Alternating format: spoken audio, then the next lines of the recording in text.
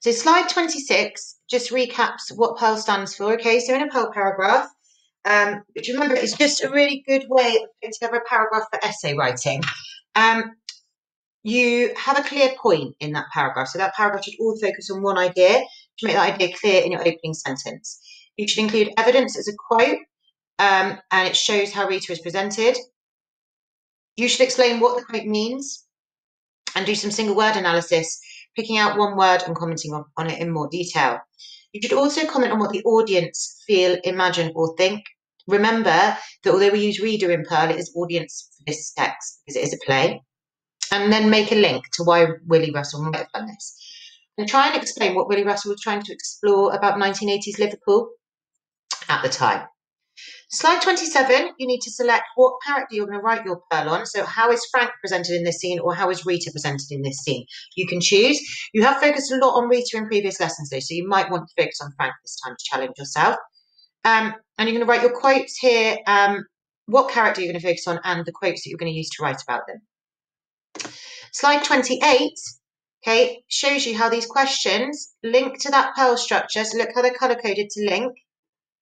Uh, and then they also link to this example paragraph, okay? So as Rita gives Frank back his da-da-da, Rita is presented as being, as being supportive of Frank and his work. The stage, or presented as supporting Frank and his work. That's, that's what so we've got clear what is happening and how is Rita presented as our point. The stage direction standing next to him shows that. Um, and you need to fill in the inference there because you need to fill in the explanation there, okay? So to have good analysis, we need a clear inference, what is suggested, and we need an explanation of how you made that inference. Then we move on to what the audience might think, and then the writer, uh, or say Willy Russell.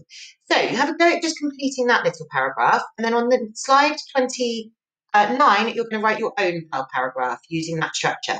If you're stuck, go back, use the same sentence starters, use the questions to help prompt you.